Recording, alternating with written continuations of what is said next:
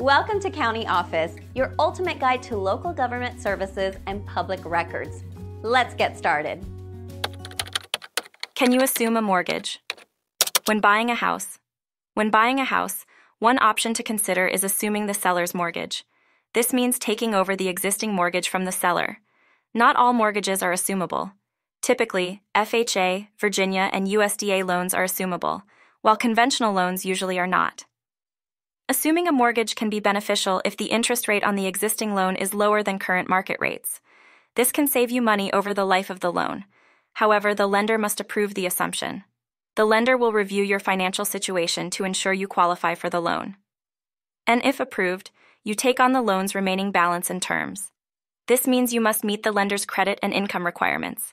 You might also need to pay the difference between the home's sale price and the mortgage balance. And additionally, some loans have due on sale clauses.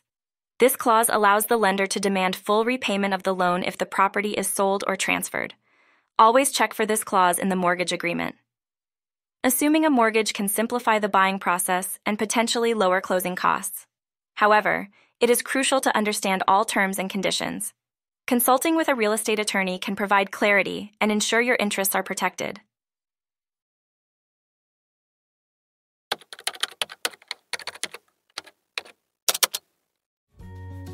To learn more, check out these links, which you can click in the description below. And feel free to comment your questions. We're here to help. Thanks for tuning in to our video. Please like and subscribe and leave a comment below.